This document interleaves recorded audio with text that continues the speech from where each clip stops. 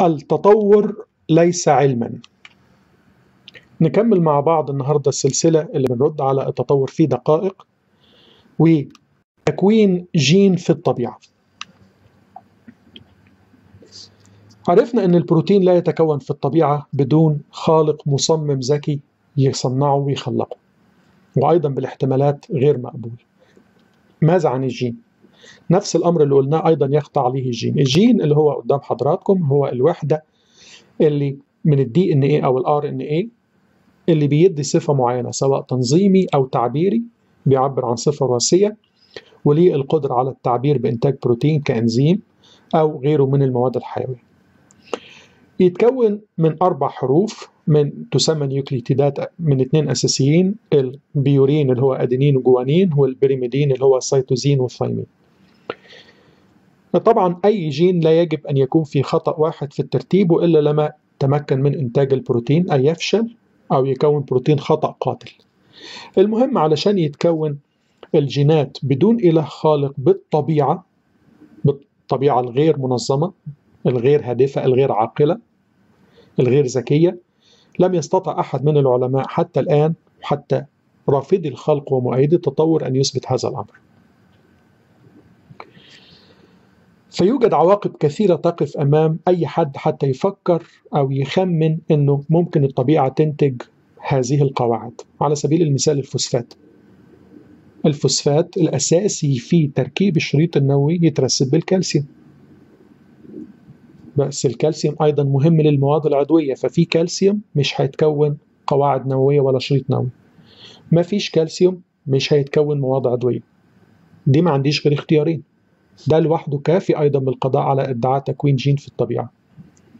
أيضا بعض التجارب قاموا بيها في سنة 1961 زي تجربة أورو مثلا بتسخين محلول سيانيد الأمونيوم في مية بها أمونيا لعدة أيام وأنتجوا أحد قواعد البيورين اللي هو الأدينين. بس التجربة دي كانت تختلف عن ظروف الطبيعة. أيضا عرفنا مشكلة الأوزون والأمونيا ومشكلة الأكسجين. أيضا التجربة دي كانت احتاجت محفز سالب واحتاجت ضغط منخفض وغيرها وما انتجتش بس أدينين لكن أنتجت أدينين نسبته واحد ونص في 98 ونص مواد أخرى مختلفة من البوليمرات السامة. واحتاجوا طرد مركزي بعدها عشان يفصلوه وغيرها من هذه الأمور. والعزل بالكروماتوجرافي أو ال liquid chromatography المعقد وكانت هذه التجربة منتجة للحرارة يعني exothermic وغيرها من هذه الأمور. يعني علشان نتمشى مع ادعاء أن ممكن يتكون جين واحد بسيط في الطبيعة أو مش الجين حتى القواعد المطلوبة لتكوين جين لازم أتماشى مع هذه الأمور المخالفة للطبيعة. محتاج إن أنا أآمن إن شيء خالق للطبيعة جعل السيانيد تركيزه عالي في المية رغم إنه يفضل الحالة الغازية. وشيء خارق للطبيعة قلل الضغط عكس الأدلة اللي موجودة. وشيء خارق للطبيعة حل مشكلة الأكسجين اللي اتكلمنا عنها قبل كده. وشيء خارق للطبيعة فصلهم عن بقية المواد السامة اللي اتكونت. وشيء خارق للطبيعة حل مشكلة الغليان والتجميد. قاعدتين محتاجين تجميد في تكوينهم قاعدتين محتاجين غليان. وشيء خارق للطبيعة حل مشكلة الكالسيوم مع الفسفور وشيء خارق للطبيعة كون المحفز القاعدي. وعلشان برضه يتربطوا مع بعض هقع في نفس مشكلة المية اللي اتكلمت عنها المرة اللي فاتت في اتحاد الأحماض الأمينية عشان تكون بروتين. ده يوضح إنه غير محتمل لا يحدث في الطبيعة لأنه ضد الطبيعة بل أقدر أقول عليه سوبر ناتشرال واحتماليته صفر.